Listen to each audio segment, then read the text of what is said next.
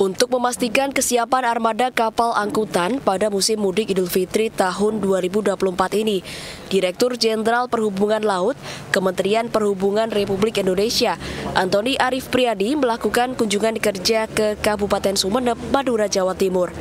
Dalam kesempatan ini, Dirjen Hubla ditemani Bupati Sumeneb, Haji Ahmad Fauzi Wongso Judo.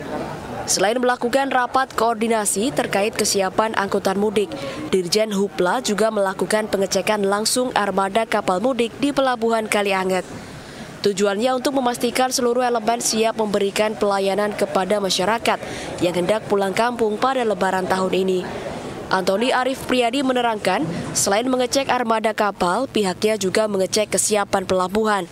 Selain itu, masyarakat yang akan mudik juga harus mendapatkan edukasi sehingga tidak terjadi hal-hal yang tidak diinginkan. Dirinya menghimbau masyarakat yang hendak mudik hendaknya memilih waktu lebih awal untuk menghindari penumpukan penumpang. Selain itu, Kementerian Perhubungan sudah melakukan koordinasi dengan Pemkap Sumeneb dengan menyiapkan armada kapal tambahan jika sewaktu-waktu dibutuhkan. Tak hanya itu, untuk mempermudah masyarakat, Dirjen Hupla juga menambah rute baru menuju Kepulauan Sumeneb, yakni rute celukan Bawang Bali menuju Pulau Raas Sumeneb.